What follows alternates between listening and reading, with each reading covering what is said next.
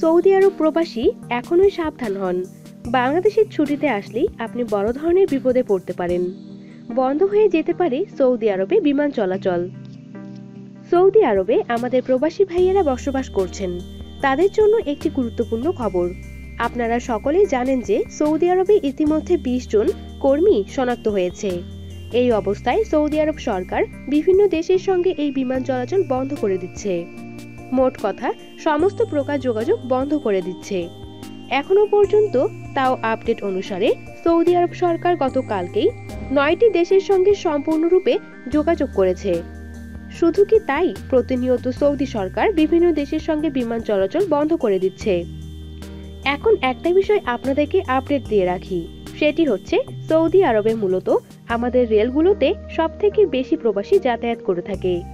আর এই প্রবাসী দেশগুলোর মধ্যে অন্যতম দেশ হচ্ছে ভারত, পাকিস্তান, বাংলাদেশ, নেপাল, শ্রীলঙ্কা, ভুটান ইত্যাদি। আপনি যদি লক্ষ্য করেন, তাহলে দেখতে পাবেন বাংলাদেশের সঙ্গে সৌদি আরবের এখনও পর্যন্ত বিমান চলাচল স্বাভাবিক রয়েছে, পাকিস্তানের সঙ্গেও রয়েছে এবং ভারতের সঙ্গে রয়েছে। এছাড়া বাকি দেশগুলোর সঙ্গে বিমান চলাচল বন্ধ হয়ে আপনি ভারতে যেরকম কোনো ভাইরাস মুক্ত হয়েছে, ঠিক তেমনই পাকিস্তান এবং বাংলাদেশ এ ভাইরাস রোগী শনাক্ত হয়েছে। যে কোনো মুহূর্তে সৌদি আরব সরকার, আপনারা এই বাংলাদেশে বা বাকি যে কটা দেশ আছে, তাদের সঙ্গে বিমান চলাচল বন্ধ করে দিতে পারে। আমি এই ভিডিওটি বানাচ্ছি আজকে দশই মার্চ দুই হাজার বিশ তারিখে। জানি না কবে সৌদি আরব সরকার এরকম একটি বড় ঘোষণা দিতে পারে। তবে যদি এরকম কোনো ঘোষণা দিয়ে ফেলি, তাহলে কিন্তু আমাদের প্রবাসীদের জন্য অনেক বড় একটি খারাপ সংবাদ হবে।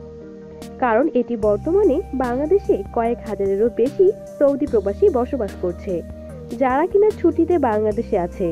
কাজের জন্য বাংলাদেশে এসেছে। তাদের কিন্তু নির্দিষ্ট সময়ের মধ্যে আবার সৌদি আরব ফিরতে হবে।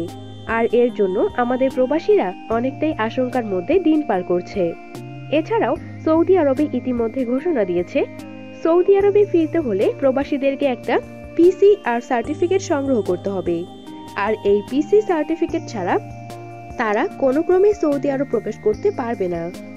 এজন্য আমরা আমাদের সৌদি প্রবাসী ভাইদেরকে সতর্ক করছি। দয়া করে আপনারা এই সময় কোনো ক্রমে ছুটিতে বাংলাদেশে আসবেন না। আসলেই আপনি বড় ধরনের বিপদে পড়তে পারেন।